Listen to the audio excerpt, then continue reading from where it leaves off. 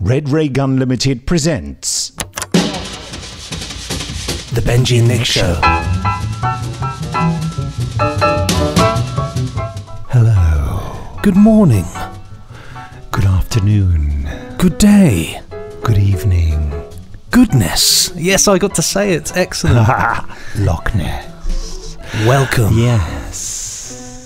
Where are we, Nick? What are we, rather? What are Oh, we? who are we? on earth are we? Uh, it's the Benji and Nick show, and we talk about cult TV.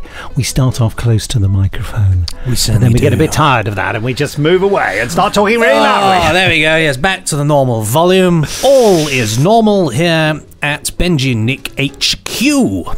Our topic of the week is the Tomorrow People, the Slaves of Jedikiah, Part 1. Do you remember the Tomorrow People? 1973, I want to say. Well, it is indeed. Thames Television, ITV, uh, created as a sort of ITV rival to Doctor Who. That's very much how it was billed at the time, which don't laugh too much. Yeah, just gonna say. yes, it's, it's very With no budget whatsoever. it's very interesting, and I have a lot to say uh, from that fun experience of watching it. Good. Well, we'll be coming on to the Tomorrow People very soon.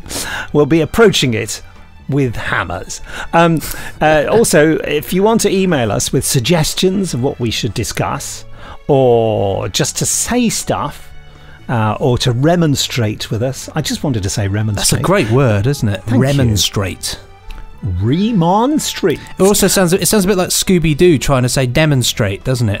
Remonstrate. Very good. Uh, yes, you can send your emails to podcast at nicholasbriggs.com. Marvelous. And also, yeah, and also we'll be giving the result of our competition for the Eric Mival, Mival book, Cutting Edge: My Life in Film and Television. Eric was uh, became a personal friend of Patrick McGoohan, the prisoner. And plus, there'll be a new competition. Oh. Yeah, and then just to surprise ourselves, we will spontaneously choose the next topic of discussion for next week's podcast. I have no ideas in my head. no, I've well, I've got a sort of idea, but it's but it's an it's an idea. It's an idea of how to get an idea, if that makes sense. You see, Well, Yeah. it sort of does. Yes. in my little mad mind, anyway, it does. Let's start with the emails. Do you want to read this first one? I would certainly love to uh, read this first email out. Uh, so remember, as Nick previously said, if you want to email in, it's podcast at nicholasbriggs.com. So the first one here is The Box of Delights. Uh, the date for this one is the 13th of the 9th, 2018, sent at 1739. And this one is from Jenny Shirt. Lovely Jenny. Hello, Jenny. Um, Hello. she's all active all over Twitter and has constant stream of happiness and positivity, which is Which is great. which is yes. what we like to see because the world doesn't have enough posi- positiveness, positive positivity and happiness. Um, yeah, so here we go. Reading the email here, it says. Hi, Nick and Benji. I was wondering if you might do a podcast on the Box of Delights nearer Christmas. I wrote an article on it for, for We Are Cult a few years back. I was 13 in 1984 when I was first captivated by the magic of John Masefield's wonderful story. Every mm-hmm. year since its much awaited release on DVD, it has become a custom in our house, as in many others, to watch an episode a week right up to Christmas week itself. The whole feel of the bright, colourful characters completely awakens your imagination. I love how it all starts. Kay Harker, a young schoolboy going home for the holidays, gets pickpocketed, loses his train ticket, and then meets Cole Hawlings, a Punch and Judy man with a magical box. But all isn't as it seems. The wolves are running, evil is waiting, and with the box in his safekeeping. It's a wonderful story, and Patrick Troughton was perfect in the role of the mysterious Punch and Judy man. I still love the interview with the cast that was shown in Blue Peter too. Thanks, and I hope you're both well and happy too, Jenny Shirt. Oh, that's lovely. Thank you very thanks, much for that one. What a great suggestion. Um, I Yeah, for Christmas time we should, shouldn't we? definitely. I mean, I watched it last Christmas anyway. Actually, Did you? Yeah. I don't know whether or not I've ever seen it. I remember it being on. I remember seeing some of it, but whether I actually watched it all, I'm not sure. It is. It is very good. It's very Christmassy, and um, it's Patrick Troughton is just Yeah. absolutely Yeah. on the money in this one. He's just perfect. It's it's good. It's a good watch. Very good watch. Uh, before I go on to the next email, I did invite some Facebook comments on my official Facebook page. I also did on the Benji and uh, Nick Show uh, Facebook page, but only two comments on there. So, guys, get over there. Get on over it. to the Benji. Yeah. But, um, you know, listeners of this podcast have a long term relationship with my official Facebook page. Uh, I just uh, dip in and out, if you'll forgive me for not reading everything out, folks. Uh, Melvin Pena says, I love the Becky and Ninja show, an essential part of my Sunday routine. My personal favourite bit is the weekly ramble with Jamie Anderson. Oh, I see. You're you're calling our show the Be- Becky and Ninja show. I didn't get that. I was thinking, what is this? Some American show I've never heard of. okay, well, uh, Melvin, I promise you a bit of Jamie Anderson. He's uh, I don't know which bit, probably his left shoulder. Uh, Aaron J. Clymer says hello. Says oddly enough, I've only ever heard the Big Finish Tomorrow People audios and never seen any of the TV episodes before.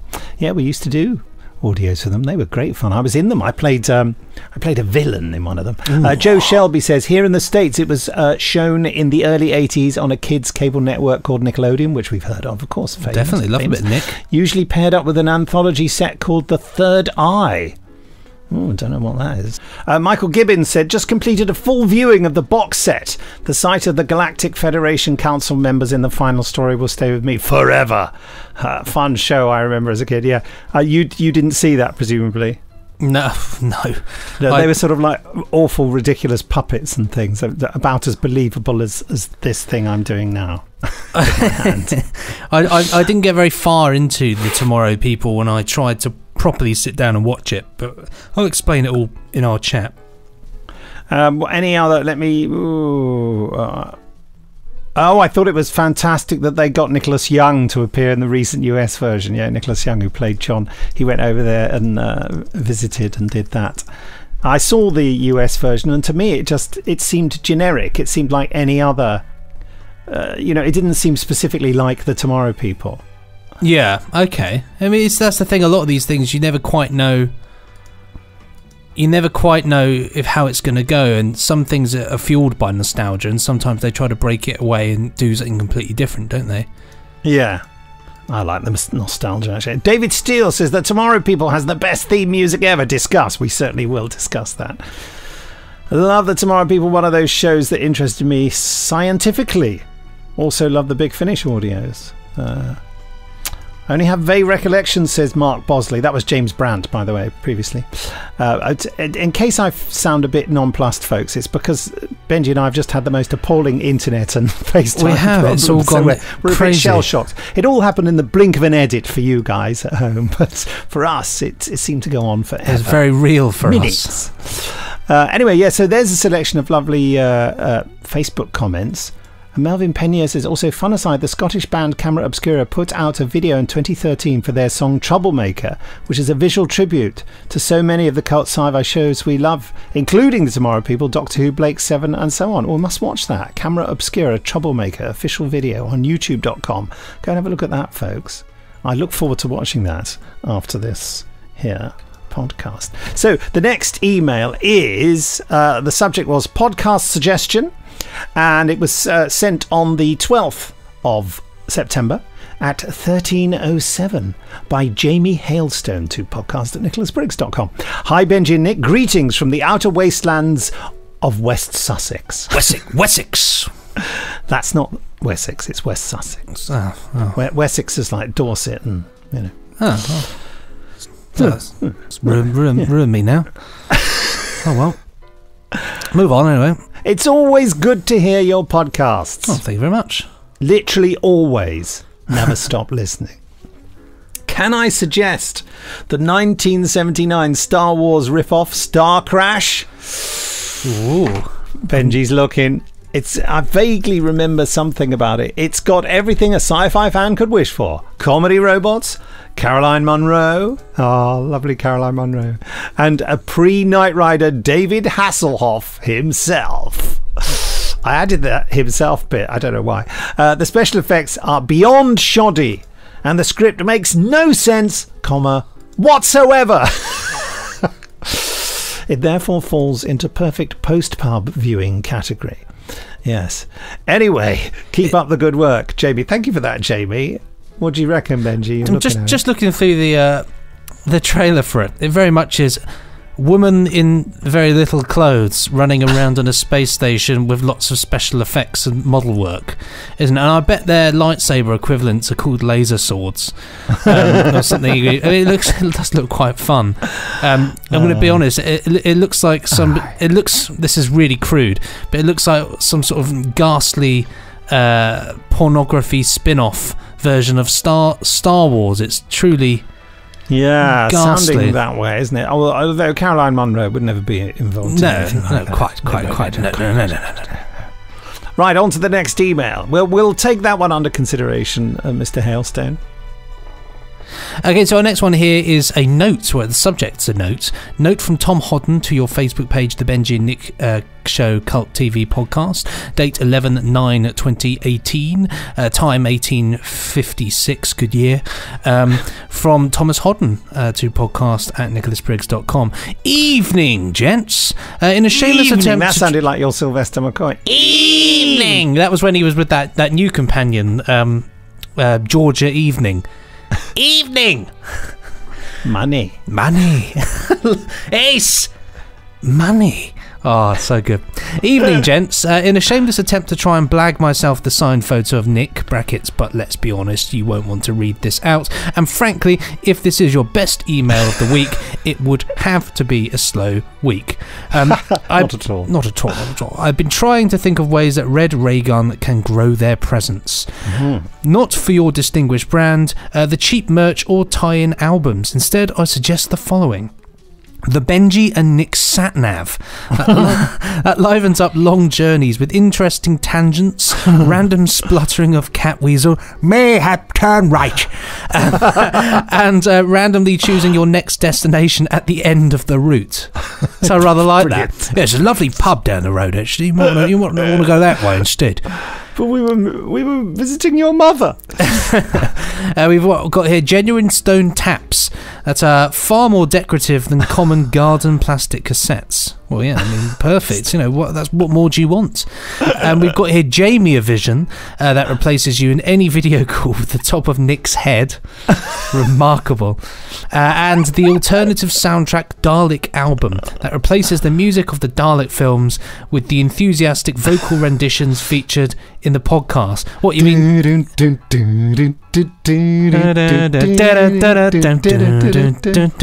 What was it? Have you got any compressed air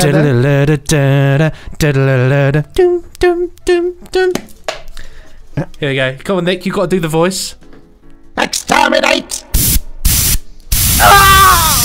ah! ah, the stuntman broke his ankle doing that. You certainly did. Thank you, T.E. Hodden.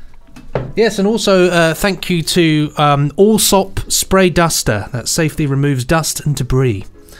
Oh, lovely. Who aren't sponsoring us, but did Well, provide all that those are brilliant gust. ideas, Thomas. Thank you, Tom. See, the reason Tom's uh, emails come with note from Tom Hodden, blah, blah, blah, because that is the automatic title generated by Facebook if you press the email us button on Ah, Facebook. I like see. it.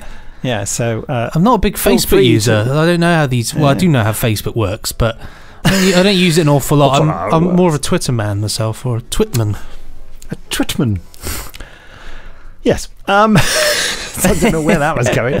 Uh, now, here's a subject I never thought I'd read out. subject Hitler. Oh well, well, it's Very interesting. sensitive. Uh, date the 9th of uh, the 9th, uh, 2018 at 21:43 from Alfie Shaw, who's a producer of uh, the Big Finish short trips. Sent to podcast at Big Finish talk. No, sorry, sent to podcast at nicholasbriggs.com.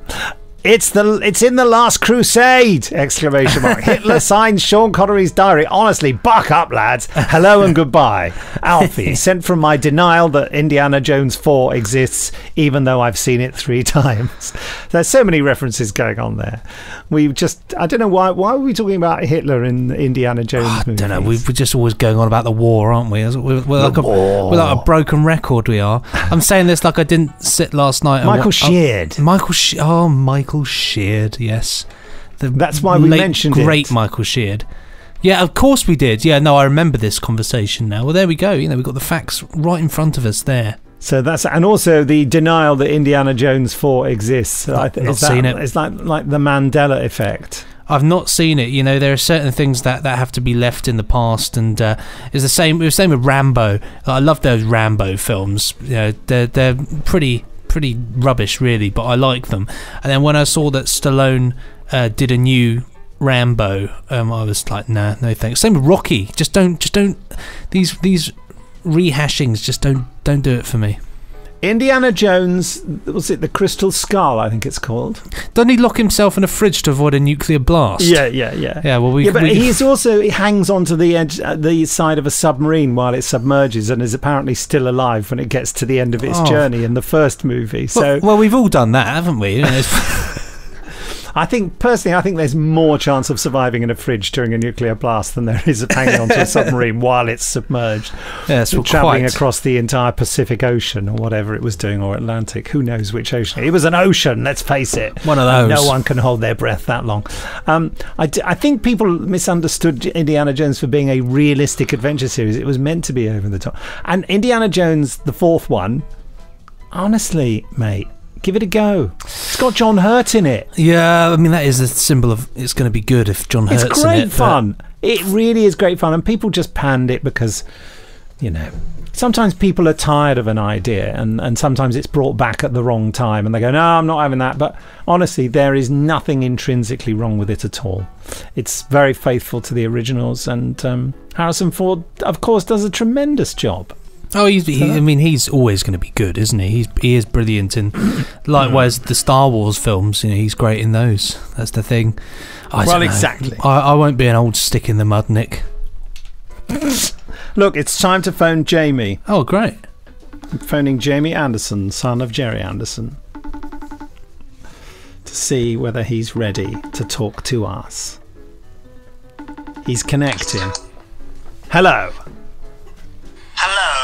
Hello, hello, hello, hello. That's a very strange look you're giving me. That's just my face, you horrible man. oh, sorry. Yes, that's what you look like, isn't it? I was uh, expecting to speak to Brad Pitt or something. Sorely disappointed, aren't you? How are you? I'm I'm good. Yeah, are you okay? Yeah, no, not bad. Yeah, I'm very good, thanks. Benji says he's not bad too. I, I didn't ask. there he is. No, no, there it is. Obviously, Benji, I went meant you plural, so Oh well, I, I should jolly well hope so. You're looking you're looking well. thank you, Benji. That's very kind. Are we all being nice to each other today? No, it's not going to last. I listen. Nah. Um, I think what everyone wants to know about is any more information about Little Chef. I don't, I don't think anybody wants to know that. Um, I haven't been yet because I haven't got time. To the one in the middle of Wales, yeah.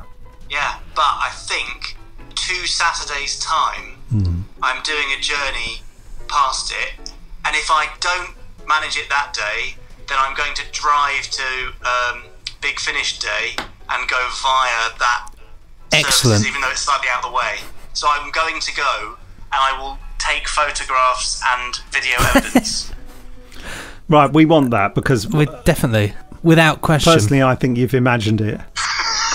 or you've had some kind of weird sapphire and steel, you know, time distortion moment. It's possible because I love it so much. I'm distorting space time around me to take me back to 1979. I'm, I was reminded of uh, Little Chef because I believe the Olympic breakfast has has chips with it. Um, it's saute potatoes. oh, blimey. So chips in a different uh, shape. Well, disky chips Yeah. rather than chippy chips. Yeah. Well, it's just that Steph and I were trying to find a, a restaurant to have lunch in yesterday, and and for various reasons we were let down. So we eventually went to a lovely cafe called the Blue Moon Cafe, and uh, what is it with we you and the thought- blue moon, Nick? But I'll, Well, what is the Blue Moon? Benji's asked me what it is about me and the Blue Moon.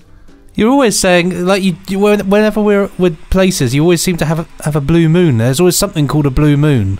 That's true. Benji's saying there's always something called a Blue Moon. There's a, there's a beer in America called Blue Moon, isn't there? There is. I, Yeah. I, I drank some last time I was there, I think. Yeah. They tend to put a huge slice of um, orange in it, don't they? Yes, you're exactly right. They don't do that in this country for fear of starting a fight in I a mean, pub. what- where, where does Blue Moon come from?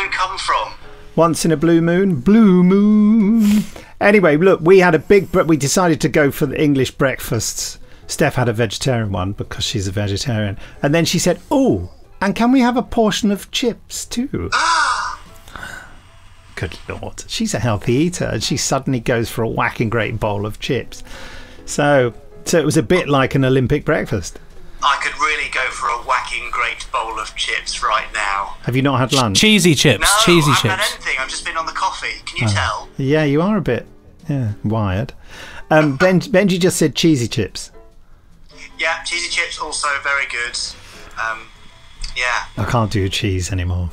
I do love cheesy Oh, chips. Don't worry, I'll eat the cheese. You can't. Oh, thanks. You'll scrape it off my chips for me. Yeah, it won't damage the dairy farmers' um, economy. okay. Uh, any uh, relevant news from the exciting world of Jamie Anderson and and his late father, TV's Gerry Anderson?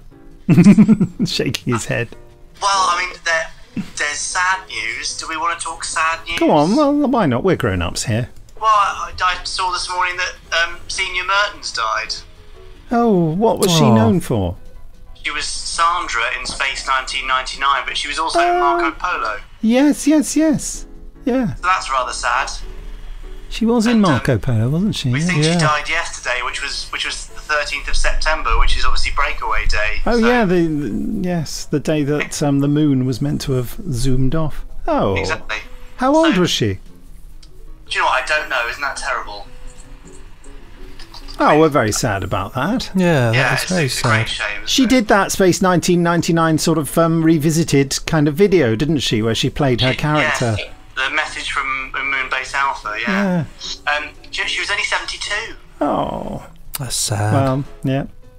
Very sad. So sorry to bring you sad news, but you know it's it's relevant, isn't it? Yes, yes. Well, and and she was part of two great franchises, so very sorry to see her go. Absolutely. Um, I don't think I've got any. any You can't you can't really come back from that. Only the expertise of a, a BBC breakfast presenter can get you back from that. You know, when they're larking around over a cup of coffee and then suddenly they have to tell you that several thousand people have died. You know, Yeah. and they do that sort of strange look at the camera that kind of I can only liken it to uh, someone having some kind of bowel problem and then and then their expression changes. They go, "Today, it, you know." So we can't do that. We're not that. No, but then at the end of the sad story, they leave a kind of second and a half pause and then go, now. And then it all brightens up again. Yes. So, can we try that? Okay. Now, um, right, uh, I'll, I'll, we've got to discuss the Tomorrow People now. I've never seen it. Really? No, shall I watch it? no. Well, listen to our analysis of it in the podcast, then you decide. Then I, yeah, okay. Decision probably made, but I won't say. I love it, but you know, yeah. Anyway. Yeah, okay. All right, Well, enjoy. Thanks for having me again. it's been a pleasure. I'll speak to you later Thanks for being here. I look forward to it. in an untransmittable version. Right. Goodbye. Bye. Right. Always a pleasure. Okay, on to the Tomorrow People, the slaves of Jedikiah. Benji, hit me. Uh, well, have we have we explained what Tomorrow People is first of all? Should we do that before Would you we... like to explain in Carol's voice? I would not like to. She's one of the Tomorrow People. Oh, and she's ever so, ever so patronising. Oh, I can't. Do you know? I can't stand Carol with with a passion. I loathe her with a passion worse than redemption. Um, it's the Tomorrow People for, are basically Homo superiors.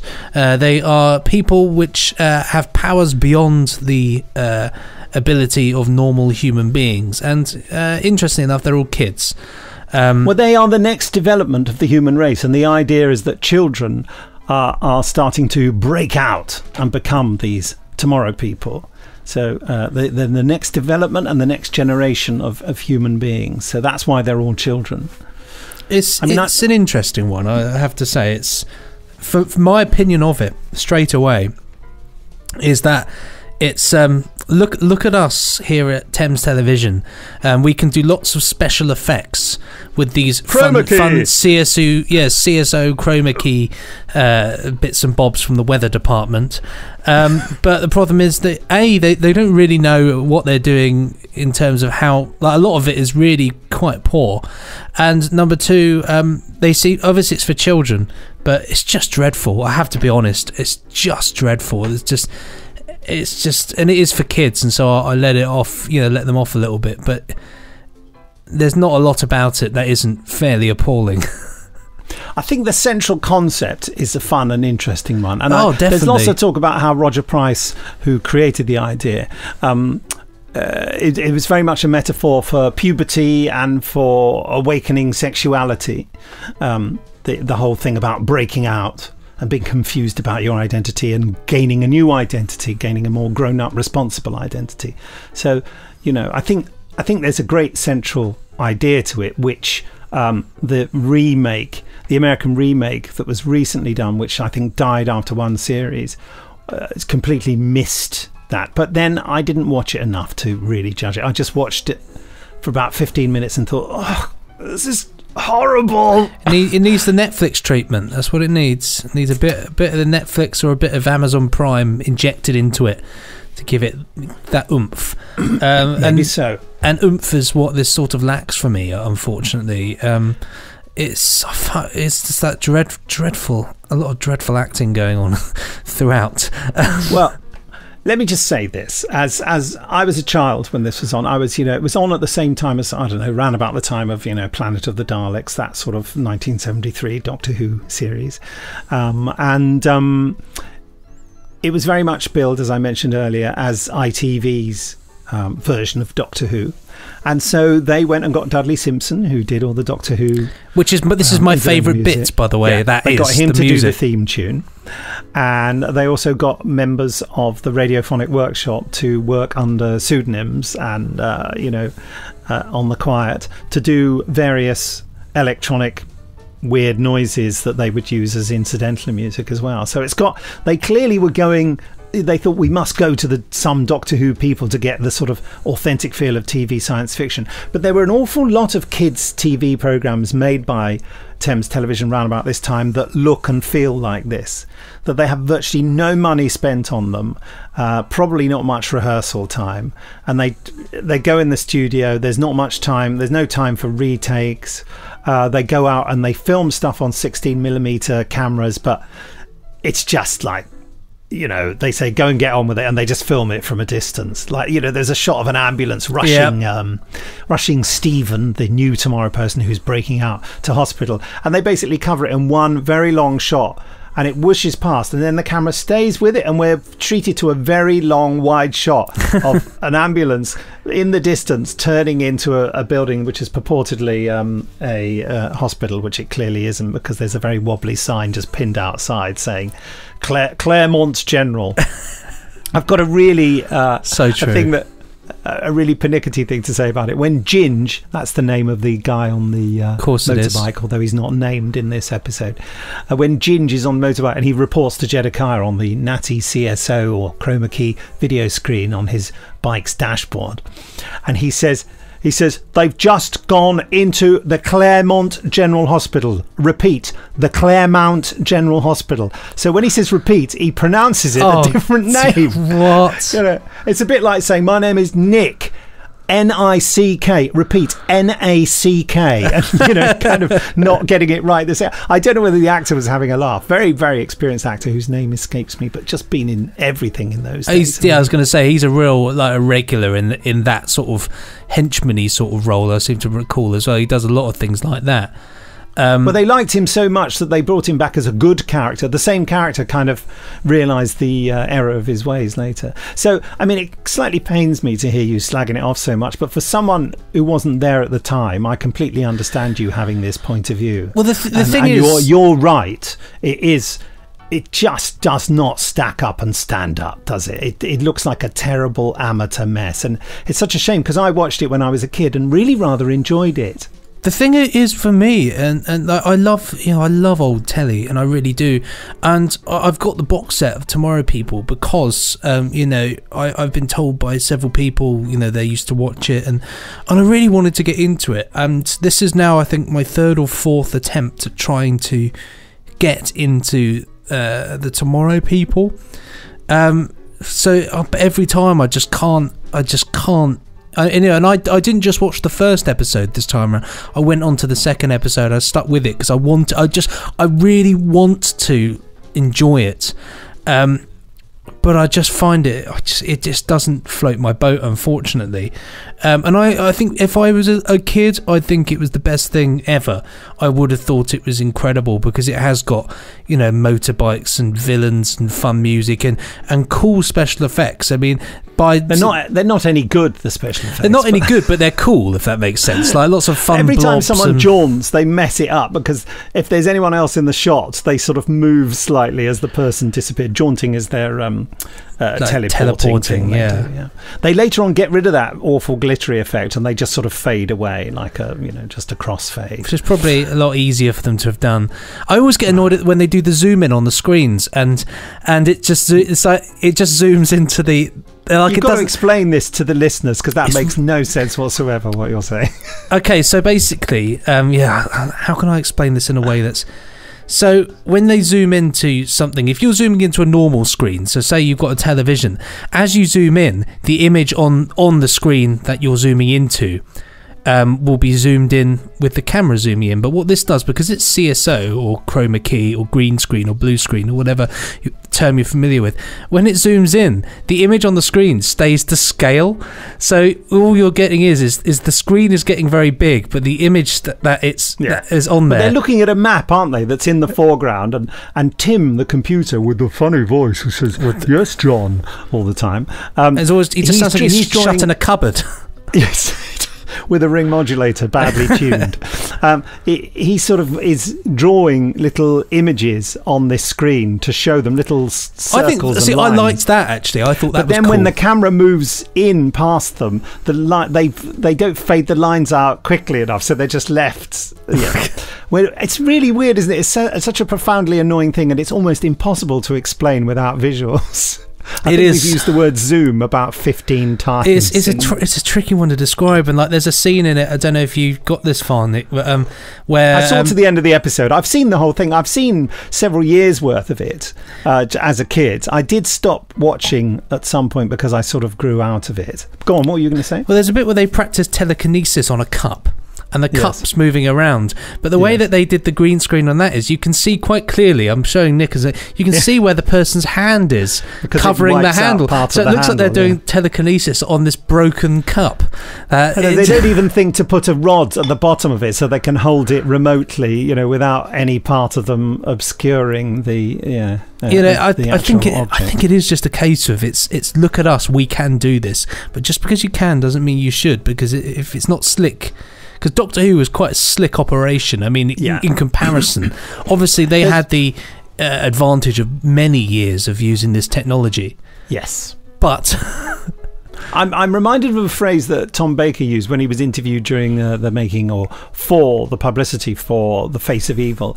And he said, You know, the BBC have developed great expertise in this programme. And I think that sums it up. The BBC, you know, a lot of early Doctor Who is pretty rough and ready, but they did develop an expertise of making science fiction in that multi camera way that kind of sort of stands the test of time better than this. There wasn't enough of a skills base at Thames Television to make this kind of television that quickly. That, that's the bottom line. The other big problem with the Tomorrow People, which persists until its very last episode, is the casting. Um, there are so many terrible performances in the Tomorrow People. In this episode, the only good actor is Nicholas Young, who Yes. plays John, and he stays with the entire series. He has a way of playing that character, which is, you know, this slightly patronising teenager, uh, and, um, uh, and and Nicholas is a very wry and funny person himself. Uh, I'll, I'll just I'll talk about that in a moment. Um, but he survives all the way through, and we're we're joined later, in the, I think for the second or maybe third series, by the character of Elizabeth, who was absolutely brilliant as well. She gives a great performance. Um, but here we have Carol, who I know you hate her, but she. The thing is, she is making a performance choice, and she is. Uh, she is doing a kids' TV series perform. So she is talking like a really helpful um, nursery school teacher, and everything is very, very. I mean, it's realistic, but it's just bloomin' irritating, I, I found her very. She's very sweet. Like she, she, she seems like a very sweet and nice person. Um, I mean, I can't. I can't imagine she went went down to see went out to see her friends afterwards and spoke like that. Well, if, um, if she did, uh, she wouldn't have many friends. Uh, so she has decided that her character is like that. I think yeah, I think it's yeah, I think you're absolutely bang on the money with that one there. But I think also you know surely it's a responsibility of of people working on it to be able to say, you know, you can play this a bit more because it's quite it. Even well, though I don't think they're good enough actors. That's that's the problem. It's an awful thing to say, isn't it? Uh, Stephen's pretty good. The character of Stephen. Uh, who Stephen's good. Stephen. Um, Stephen is uh, Peter Vaughan-Clarke. Peter who, Vaughan-Clarke. Who Yeah. I spoke to um, Elliot Chapman this morning actually um, about. Well, he tweeted me about it, and um, Peter Vaughan-Clarke is now working. Uh, he works doing lighting on Mousetrap actually. Oh, so right, Elliot yeah. sees him every day in that. So it's Well, just Pete. I met I met Peter when he came in to do Big Finish um, Tomorrow People, and he had a sort of a real sense of humour about it because he'd stopped acting years and years before. I think he didn't do anything after the Tomorrow People. You know, he just did that, and so he, you know, he came back to it, but he wasn't an actor, and he, I don't think he ever intended to be a, a great actor, but he certainly does a. a a pretty competent job. That's not much of a review, is it? Pretty competent job in this. And the series, of course, took him through puberty, so we see all the uh, development of his voice going through. So in this, he has a very squeaky little voice, and the next series, he had that kind of in betweeny voice that boys get, where their voice is getting a little bit husky. A little bit And like then that one- all time. And then he went very deep, you know, for the third or fourth series. You know. Um, but yeah, that's for me the problem with the Tomorrow People. Uh, I think you know, fairly mediocre acting almost totally across the board, with notable exceptions. Let's put it that way. And also, sort of very, very unimaginatively directed and rushed.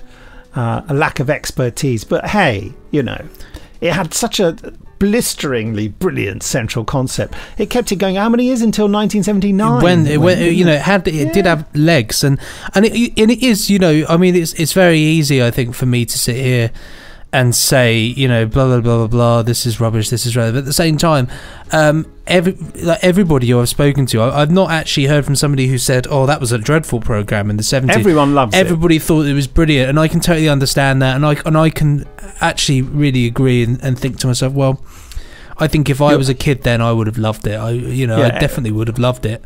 Those Um, of us of that generation all have fond memories of it. But yeah, It's a cool concept. if you don't, if you don't have that, then it's, uh, but it's virtually unwatchable, isn't it? Because it's so tatty. well, old Carol, I'm just looking at her actress uh, Sammie Winmill, um, who she didn't carry on acting at all. Really, she did. Tomorrow People was sort of a mid-run in her career. She st- she started acting in 1970 and stopped acting in 1978. Her last role was in uh, The Professionals. Uh, She was Oh. in the New Avengers as well, but she now works. She d- is a uh, she works in casting now. Oh, well, she'll never give me a job. But yeah, there we there we I go. don't think anyone was working in casting during the Tomorrow People. No, quite. Interesting. that oh, they'll do. Yeah. she, she's actually. How has that happened? She's managed to get one of her people that she's casting is, is a wrestler. It's rather interesting. Um, who knew? Um, for World of Sport on telly at the moment. Sorry, just chatting my mind. Is now. World of Sport on again? yeah, they've revived World of Sport. Do they have the same theme tune? Um, no, not at all. It's it's it's now it's now a rebranded American style wrestling show for ITV, which is sort of as somebody who enjoys wrestling, it's all right. Like it's good because it's British wrestling, but um, it's just there's just something about it that I'm not that keen on. It's all it just can't take it seriously in the same way, and I don't know why. But um, love a bit of British wrestling. So, how many exclamation marks are you going to give the Tomorrow People, the slaves of Jedikiah? You don't. I mean, we don't in this episode get to see who is the villain. Jedikiah, played by. Uh, he is played by and has a tremendous face. Yeah, Uh, I mean, yeah, yeah. like like he looks like if you were to say to a kid, "What does a villain look like?" Um, he looks like that. Um, Jedikiah is played by Francis de Wolff, That's it. Yes, who has done lots of things. he was in Um, Doctor Who. I think he was in the Keys of Marinus. He was, yes, I, I think so. uh, If yes, my no, memory he is definitely was. He's been in a lot of he again. Um, I don't know if he no. He so he was obviously movie star. he his last acting job uh, um, that IMDb says is 1977. So Jedikiah was his second to last job. Um, if if he stops Well, he was there, quite old then. He was. He probably died. but it's good that he could have some fun because it is a fun character that he's playing. You know, it's yes. it's. Uh, I love that the, the, he he stars in the Slaves of Jedikiah, and then a few years later. Um, was in the Revenge of Jedikiah farewell Yeah. performance, which is what the episode Yeah. was called apparently. But he's been in quite a few things, uh, lots of uh, lots of old horror sort of films by the looks of it. yeah, Christmas yeah, Carol, yeah. Moby Dick, The Hound of the Baskervilles, Yeah. uh, From Russia with Love. What Uh, did he play in From Russia with Love? Uh, says here Vavra Oh, from Russia. Siege of the Saxons. He played the blacksmith. Um, no idea what that was about, but it I'm, sounds I'm glad good. you wanted to mention that. I thought you were going to tell us something. Siege of the Blacksmiths. He pl- Siege of the Blacksmiths. Siege of the Saxons. He played the blacksmith. If, if the character doesn't have a name, it's not. It's not worth reporting. He was he, he was in Miss Robin Hood playing accident policeman. does, does that mean a policeman that assists accidents, or just this accident prone? Keeps All right, whoops, sorry, car. sorry. I've dropped my helmet again. Is there a uh, a murder? Oh God, I've just stepped on the corpse. Um, oh God, I've just. Oh dear. What? Um, how many exclamation marks? Did Okay, you say? I'm going to give it a three because um, Three. That's very generous considering how much you hated Well- it. Yeah, I think three's fair. I, it's a love hate thing with me. You know, I, I I desperately want to like it, and I desperately um, acknowledge the reasons as to why I should like it. Um, but it just doesn't fit with me, which is you know. So it's a three. I'll give it a four for the concept, but it's a three because of what it is. It would be a two if I had to judge it on just that. If that makes sense. Yeah, I think if I were watching it for the first time, I'd give it one exclamation mark. But yeah, I'll give it three. I could do a whole other podcast telling you about my adventures in doing the commentaries. I was the moderator on the commentaries of the DVD box sets, but honestly, that's just too. It's got, if you've got the DVD box sets, do listen to the commentaries because they are outrageous, and, and Nicholas Young is particularly. Um, entertaining, shall we say. I'll say no more. Listen, competition result, cutting edge, my life in film and television. marvellous. The autobiography of director and editor Eric Mival. Eric was music editor on The Prisoner. Yeah, became a lifelong friend of Patrick McGoohan.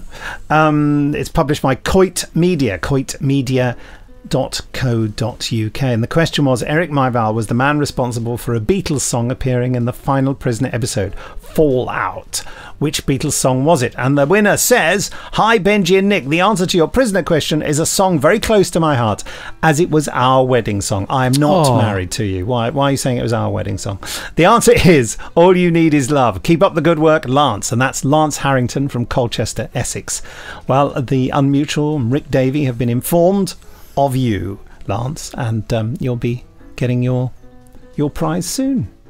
Uh, the new competition, the prize, the Doctor Who novel, The Dalek Generation by Nicholas Brogues. Oh, Nicholas Brogues. It's I'll sign it if, if you like. Personalise it if you want. Let us know in your answers. The question in my first TV Dalek episode, where did Rose Tyler touch the Dalek? Mm. The subject line, elevate! Exclamation mark. The closing date, the 28th of September 2018, as has been mentioned in another podcast, the day before my birthday. Good luck! Look at that. What a competition and a half there. So get him in and get those emails in and get chatting with us. We love to hear from you. Um, decide next week's topic, it says here. Okay, well, I've, I've had an idea. It's been a while Ooh. since we did a Doctor Who, and I, and I feel like we should be true to our, our love of the Roots. programme by doing a Doctor Who. Hmm. And so, what I've done is, I found a website entitled therandomizer.net. Oh. Okay, and what this does is this picks a Doctor Who story at random. so what this means is that we go in blind, and whenever I click this button, Okay. um, unless it obviously says I don't know something that's compl- just doesn't exist. Um, yes. So are we going to commit to it? You do not exist. Not exist. Not Exist. Exist. I once- I once yes, had a- let's commit to it. I once as had a party at my house, and we um we put delay on the microphone after a few drinks, and we all spent a good amount of time just doing that, uh, and From thoroughly death to the Daleks. thoroughly yeah. enjoying ourselves. Okay, the only cap I'm saying is it has to be classic series, uh, and we will say that that I, I will say that that goes up to. Um, we'll, we will say the TV. Survival. With- Oh, uh, the TV. We'll, we'll okay. include the TV movie, but anything after that, I think, would not be true to our cult TV thing. Okay. fair Yeah. enough. Okay, so I'm going to click the button. It's State of Decay. Oh God. Yeah, state. Uh, well, we've we've committed. We've committed to State of Decay. Uh, just should we just do episode one? Yep. Yeah. That's And Nick's, any more that we fancy. Nick's just there like, yep, yep. Okay. I you Can't see, stand data stage of decay. see, I like it. I really Oh, it's like it. So for me, it's all right because I I love that whole season. Um, I love the darkness of it all. But yeah, that's a fun one. Okay, let's do it. Doctor Who State of Decay. Nick's just scratching his head in this sort of uh, way. It's half an hour of my life I'll never get back. Um, starring Tom Baker, Matthew Waterhouse, and Lalla Ward.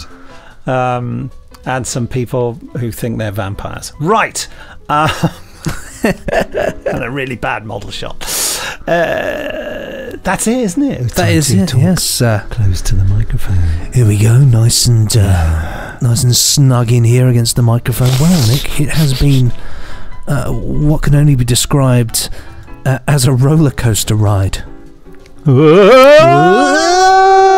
Oh, Cheerio. here we are.